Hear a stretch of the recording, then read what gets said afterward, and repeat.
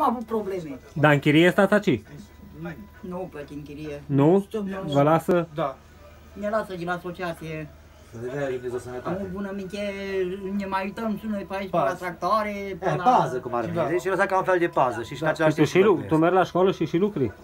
Da, după ce mergi la școală, mai ajută aici un pic, mai mă duc cu ei. No, v-am adus aici de tăti, ia uitați câte v-am adus. De la oamenii cu suflet mare.